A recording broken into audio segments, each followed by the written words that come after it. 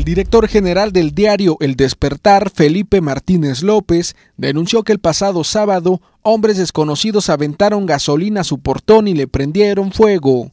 En conferencia de prensa, Felipe Martínez López aseguró que el jueves por la noche recibió un mensaje a través de una red social donde invitaron a los comunicadores para asistir a una fiesta en su domicilio. Sin embargo, señaló que era una amenaza la cual se cumplió en la madrugada del sábado. El director del diario añadió que esta agresión fue un error ya que desde hace varios meses se le ha querido vincular con el dueño del portal electrónico Oaxaca Político y de su columnista René Pérez, el cual recalcó que ha escrito en contra del gobierno y funcionarios públicos.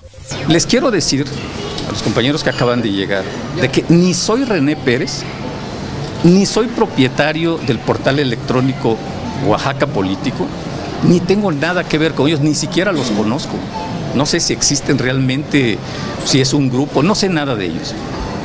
Pero sí quiero insistir de que esa identificación de René Pérez, de ese portal conmigo, me ha traído estas consecuencias y creo de que el mensaje que quisieron enviarlo a René se equivocaron enviándomelo a mí actuaron en contra mía de manera equivocada.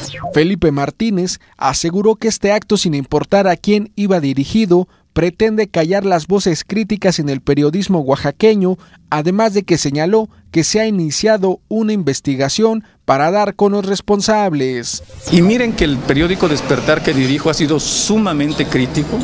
Hemos denunciado todo lo que hay que denunciar. Jamás habíamos tenido en mi caso no había recibido ninguna amenaza, mis reporteros tampoco. Esta es la primera vez que esta acción ocurre. Espero que no vuelva a ocurrir. Con imágenes de Alan Ramírez informó para MBM Televisión y Gran Sánchez.